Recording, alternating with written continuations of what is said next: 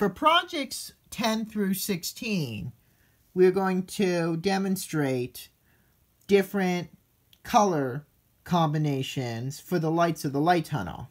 Unlike Project 4, in which all the lights came on and off in different patterns, producing a light show, they are going to be on steadily for these projects. And for Project 10, we will have all three colors of lights come on at once. So the tunnel effect is all three different colors. And then for project 11, we are going to remove the three snap wires in the middle and on the right. And now we have just one three snap wire connecting point R on the light tunnel and the tunnel is only red. For project 12, we will switch, move the three snap wire over to the center position and then only the green lights come on. For project 13, we will move the three snap wire over to the right and now we have only blue lights. The tunnel is blue.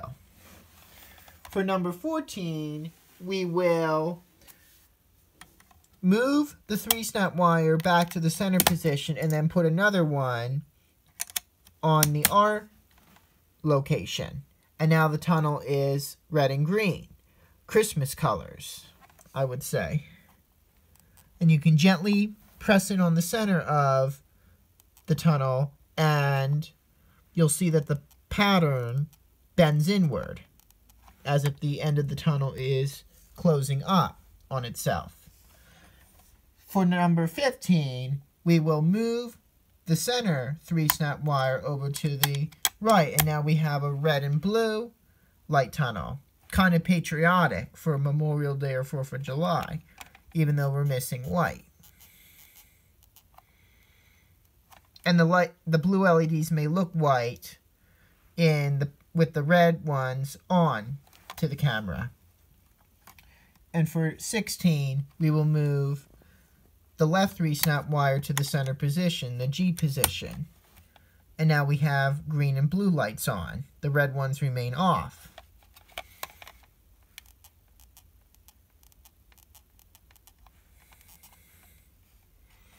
And so just to go over the positions, this is R, which is red, this is G, which is green, and then this is B for blue. Project 17, 3D Illumination, will be the first three-dimensional project in this kit. I built it here using the main base grid plus two other base grids which are connected right here. It is very important to read the instructions carefully, and I will quickly show you how 3D projects are built in this kit. Here's the basic diagram, which shows the different parts and where they are placed on each board. The drawing looks complex because it shows assembly of a three-dimensional structure. Now, these red pieces are the same. They're just mounted so that they stand up. And here are the instructions on how to assemble the three-dimensional circuit. You, in this case, we would refer, the base grids, by the way, are labeled, are lettered. So the main base grid is A, this base grid is B, and this base grid is C. We begin with the main base grid, putting the supports for the other two grids on, and then putting the parts on base grid B and attaching it to grid A. The next step would be putting the parts on grid C, except in this case for this vertical snap wire, which is already attached to B, and this two snap wire that will connect it will put it on once you attach grid C to grid A. And then you will finish the connection and by using one of these stabilizers to hold the grids together, then you will insert the remaining parts onto grid A.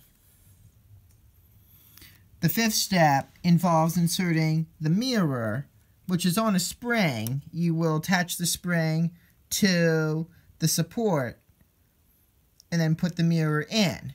Now, mounting the mirror on the circuit can be tricky, but it goes like this, and you have to mount it at a like maybe a 45 degree angle. You can always adjust it if you need to. We also have to put the attachment onto the phototransistor, which is here, to keep background light from activating the phototransistor. And you will see how this circuit works when I turn on the slide switch. We have a loud horn, the color LED and tunnel lights flash. It's very loud, I'm not going to have it on long. The white LED is on. Now when I turn off the slide switch, the horn stop. Everything stops. But I'll show you another thing. I'm going to put my hand here and the horn stops even though the LEDs remain on. That's because the horn is being controlled by the phototransistor. When there's light on the phototransistor, the horn will sound. When there's not, then the horn will not. If I remove the cover from the phototransistor, then it's possible that background light may activate it, but that's not always the case. Like it doesn't right now, but it could. There it goes again. If you want, I am not going to do it for this circuit, but you can swap the locations of the white and color LEDs.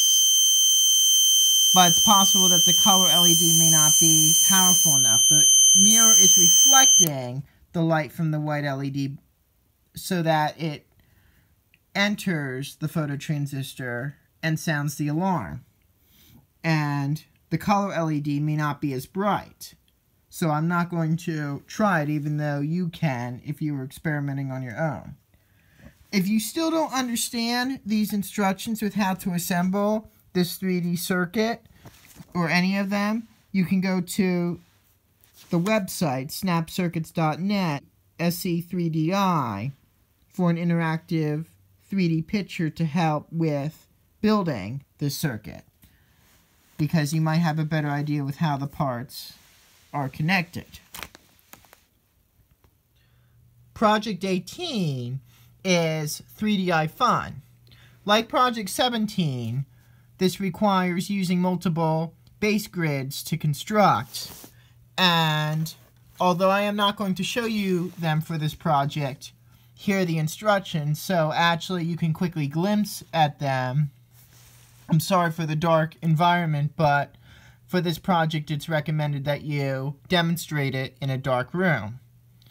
But after inserting all the parts, you will have this circuit, and it also includes, it might be hard to see, but you have the projector, the mirror, and then also the attachment on the phototransistor.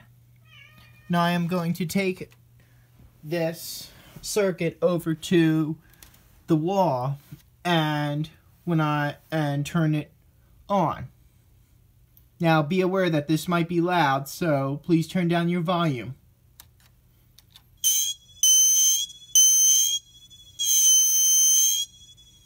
I have to hold the mirror, but what happens is that the mirror is reflecting the light from the color LED onto the phototransistor, which will trigger the horn.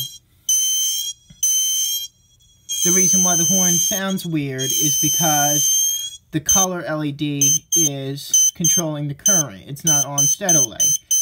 It changes brightness and color and flashes too, so the sound is not going to be steady.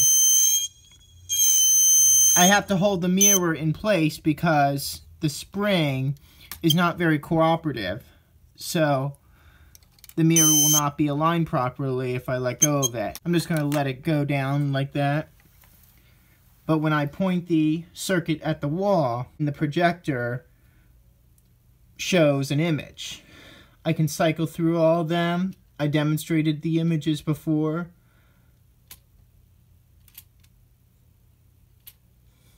Of course, the light tunnel and color LED remain on whenever the switch is on.